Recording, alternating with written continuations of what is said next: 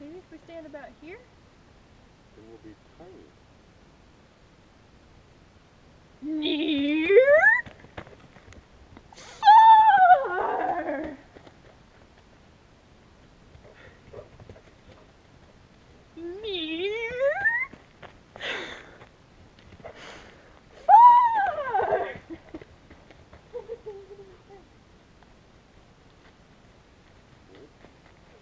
dog in, dog in the head on accident.